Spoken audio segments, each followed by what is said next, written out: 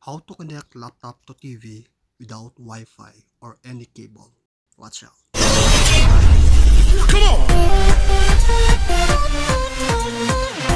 Okay. So, magandang hapon mga ka-viewers sa ating mga ka-brothers dyan. Okay. So, andito rin naman po tayo ano, para ipakita o share kung ano po ang nalalaman natin patungkol sa information technology na kung saan kahit anong video lang na nakakatulong sa ating kapwa, nakakatulong sa ating mga kapwa manonood, ano po? Lalong-lalo na po kung interesadong o interesado ang mga manonood natin na malaman kung ano-ano mga technique na pwede nilang makita sa atin. Okay? Yeah! So, saan po natin? Click po natin ang start. Then, punta po tayo sa settings. Okay. So, hanapin po natin ang settings. Okay. So, i-click po natin ang settings. Ayan. So, kung mapapansin ninyo, nasa display setting na po tayo. At ngayon, scroll down natin. Okay. Ayan. Scroll down natin. Titingnan natin yung multiple display. Ayan. Okay. So, pagkatapos niyan, click natin ang connect a wireless display. Ayan, magpapakita ang black. Actually, wala pa kayong makikita dyan kasi hindi pa po naka-on ang TV natin. Ano? So, ngayon, okay, so adjust ko lang konti ah. Para makita natin ang TV.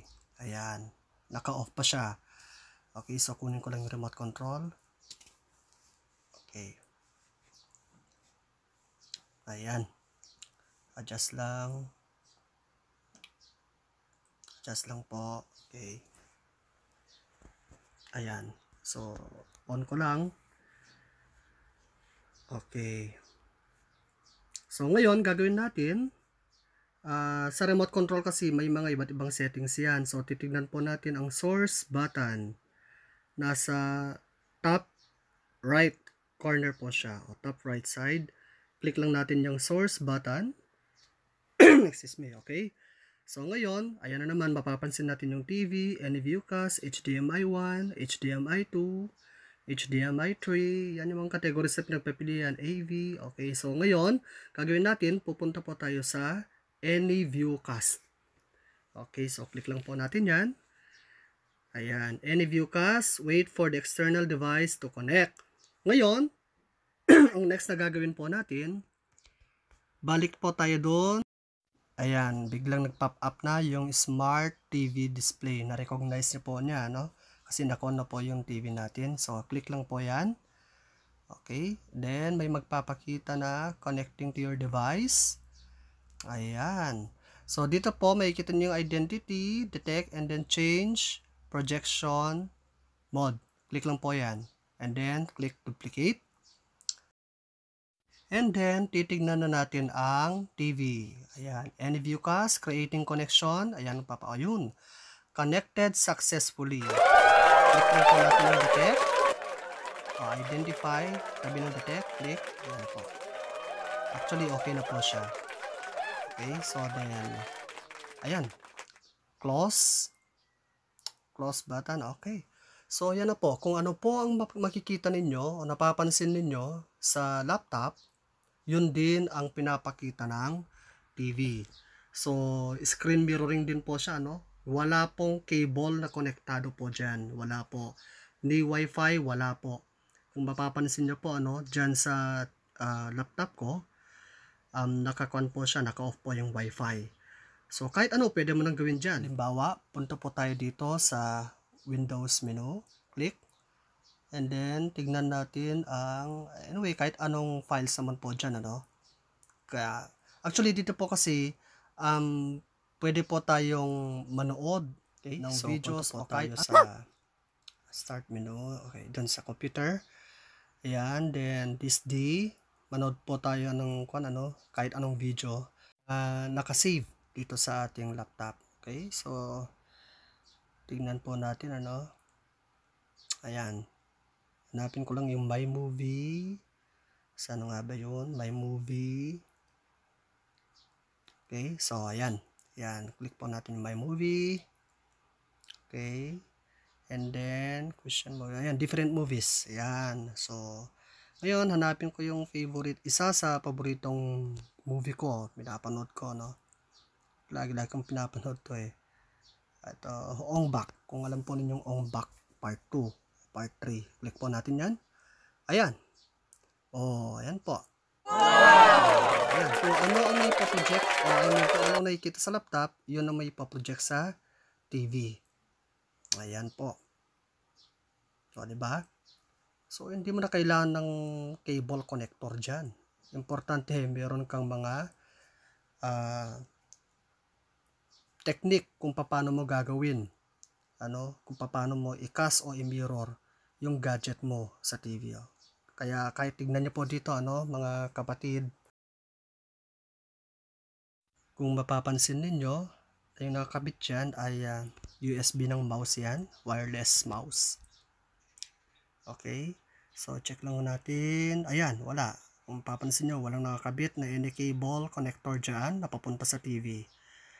So, yun lang. Actually, yung ginamit ko lang, yung katulad sabi ko, ay dun lang po sa settings niya ng laptop mo. I-project mo lang siya. Then, connect to wireless display na lang. So, ayan. Okay, so ayan. Wala din pong mga nakikita nyo sa TV na nakakonekta sa laptop kundi yung wireless display lang po so ayan actually marami kayong pwedeng gawin eh kung may mirror na po ninyo o may cast ninyo yung gadget ninyo sa isa pang device marami kayong pwedeng gawin uh, ang advantage lang po kasi nito is kahit saan mo ipunta yung laptop mo okay lang kung anong ginagawa mo dyan sa laptop mo dun din makikita sa TV so ayan, uh, hindi, wala pong hassle po dyan. Kasi, yung cables kasi, may hangganan yung length po niya eh. So, ayan po. Okay, so back po natin. Okay, so, close na muna natin. So, ngayon, uh, alam nyo, very helpful po kasi ito. Uh, napaka useful po niya.